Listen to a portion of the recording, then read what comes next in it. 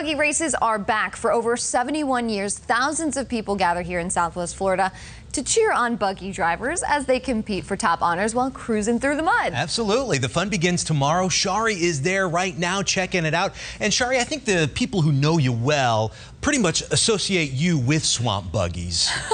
so this is a natural fit. Of course.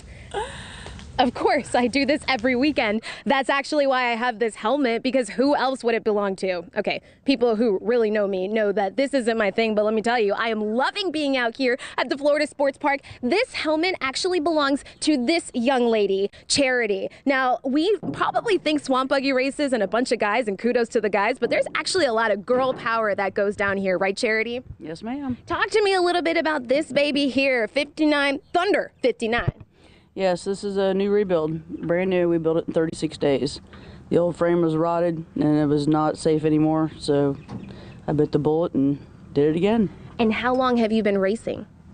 Since 1992. Wow. I started out in the four cylinder class, went to the six cylinder, and ended up in the Sportsman V8. Sweet. And for people who don't know, talk to me about what it's like being out on, on that track. To me, it looks a little scary. What are you feeling when you're out there? It's a little anxiety, but a lot of, you know, I don't know, build up fun. Basically, you know, you, you, all your work is coming down to this last minute, you know, and time will tell. The track is going to make you or break you. Sweet. I am super inspired by you, Charity, and Southwest Florida. Let me show you who else I'm inspired by. We are here with the 2019 Swamp Buggy Queen herself, Miss Courtney. And Courtney, what does it take to be the Swamp Buggy Queen? Like, if I might be potentially interested, what would I have to do?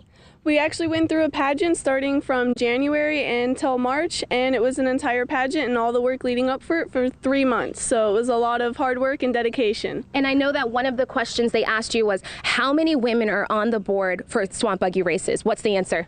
There are three women out of 10 on the Swamp Buggy board. Oh my gosh, so much girl power. Speaking of girl power, we have Jessica here, who is one of the one of those women that Courtney was talking about. And Jessica, for people who have never come out to the Swamp Buggy races, why do they need to come out this year? Oh my gosh, you've got to come out and see all of our buggies. We, everyone's worked so hard. We've got a couple of new drivers out that have just going to be hitting the track. We had one just hit the track this morning.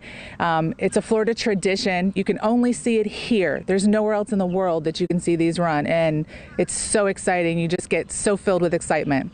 You can see it right here as in Naples, as in Southwest Florida. So if you want to catch the 2019 Swamp Buggy races, guys, we got that information for you on fox4now.com. We're hanging out here at the Florida Sports Park with all the girl power, and the guys are here too. I got to point that out. Sending it back to you guys. Shari Armstrong, Fox 4 Morning News. That looks like a lot of fun. It does. It does. It, the splash was a lot bigger than I was expecting. Really big. That's why I said it's okay maybe if Shari doesn't do it. No. because we don't. She wanna would be her so- so No. swampy. I would consider myself pretty adventurous, but I don't know if I'd want to do it. Get in there, Shari. And that's not us. she We're needs to not get hating on people who do do it either, because that's awesome. More power to you. Yeah.